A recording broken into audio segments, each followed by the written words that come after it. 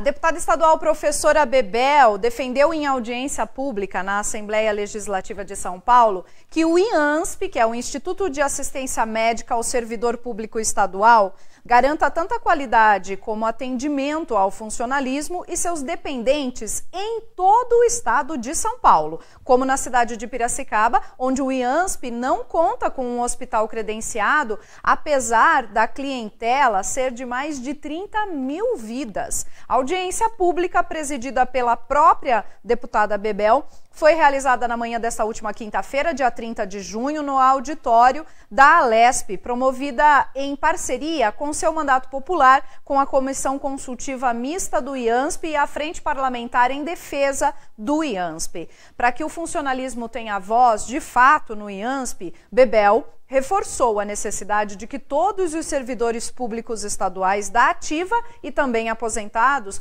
priorizem a luta pelos conselhos de administração e fiscal é, partidários do IANSP, pela qualidade uh, de descentralização do atendimento para todas as regiões do Estado. Durante a audiência, em que servidores públicos também pediram o fim do confisco salarial sobre aposentados e pensionistas, foram relatados os problemas estruturais e de atendimento do Instituto eh, e do Hospital do Servidor Público Estadual e uh, ainda não renovação de convênios com clínicas, hospitais e laboratórios no interior irregularidades decorrentes de privatizações e terceirizações, reforçando né, a necessidade da instalação da CPI do IANSP, proposta da deputada professora Bebel, que inclusive já está protocolada na Alesp.